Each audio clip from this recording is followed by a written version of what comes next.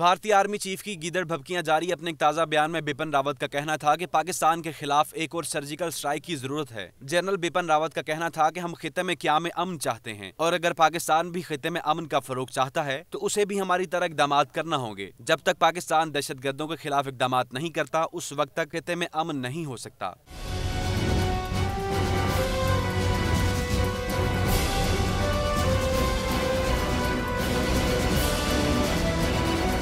भारतीय army chief के बयान पर पाकिस्तान और दुनिया भर में रहने वाले पाकिस्तानियों ने शदीद रद्दमल का इजहार किया है और इस अजम का अदा किया है कि मुल्की दिफा की खातर आखिरी हद तक जाने से भी गुरेज नहीं किया जाएगा। भारत की जानब से पाकिस्तान को धमकियाँ देने का सिलसिला नया नहीं है। माजी में कई बार भारतीय हुकूमत की जानब से पाकिस्तान पर मुख्तलिफ़ नोयत के इल्ज़ाम आयद किए जाते रहे हैं। भारत की सियासी क्यादत ने भी कई मरतबा पाकिस्तानी हुकूमत को तनकीद का निशाना बनाया।